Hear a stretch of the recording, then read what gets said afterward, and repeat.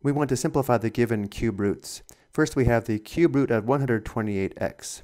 To simplify, we need to find the perfect cube factors of 128x. To help us do this, let's determine the prime factorization of 128.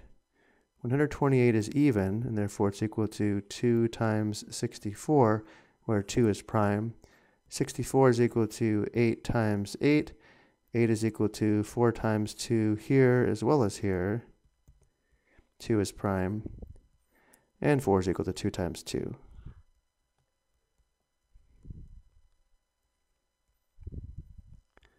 One hundred twenty-eight is equal to 1, 2, 3, 4, 5, 6, 7 factors of 2.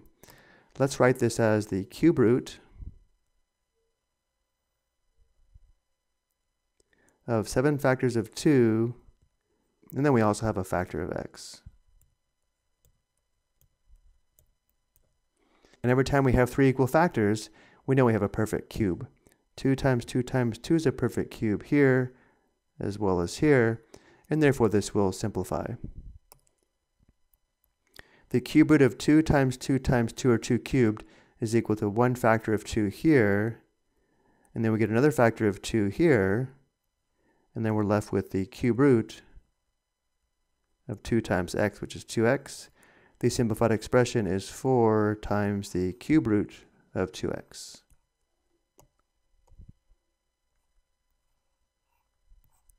Next, we have negative 2 times the cube root of 243 x to the 11th.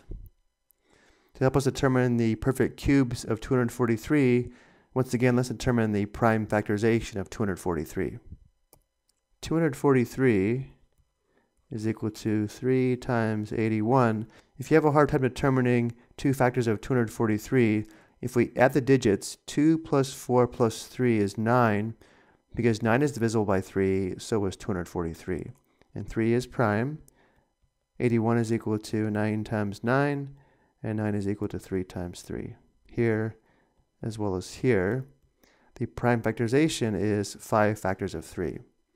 Let's write the given expression as negative 2 times the cube root of 5 factors of 3. And then we have x to the 11th. We know x to the third is a perfect cube. Let's see how many x to the thirds are in x to the 11th.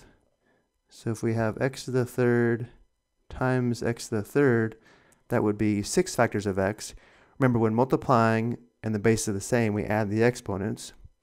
If we multiply by another x to the third, that would be 9 factors of x, and we have 11 factors of x. So we have two more factors of x, or we're left with x squared. And now let's circle the perfect cubes. 3 times 3 times 3 is a perfect cube here. x cubed is a perfect cube here, here, and here.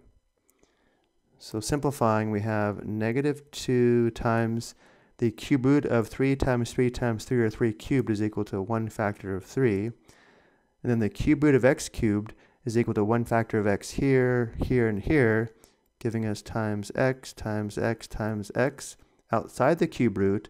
And then we have times the cube root of 3 times 3 times x squared, which gives us 9x squared. And then finally, negative 2 times 3 times x times x times x is negative 6x cubed, and then we still have the cube root of 9x squared. This is a simplified cube root expression.